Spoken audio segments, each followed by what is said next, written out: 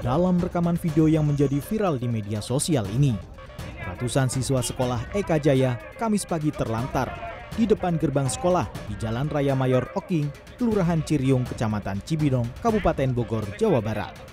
Mereka tak bisa masuk sekolah lantaran gerbang sekolah digembok. Diduga imbas dari sengketa lahan yang tengah terjadi antar pengurus yayasan Eka Wijaya. Kondisi ini memicu kemarahan para orang tua. Mereka memaksa gerbang sekolah untuk dibuka hingga berujung cekcok dengan pihak keamanan sekolah. Ini bukan rumah, Pak, ini sekolah. Para orang tua mengaku kesal. Para murid menjadi korban gara-gara masalah internal yayasan.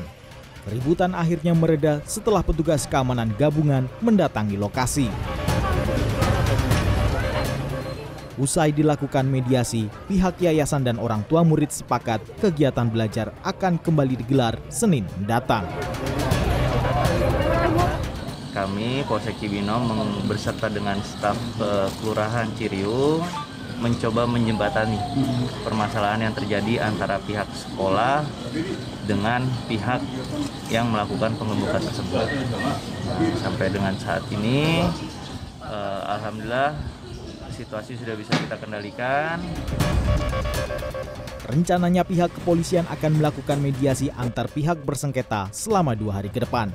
Muhammad Juanda, Bogor, Jawa Barat.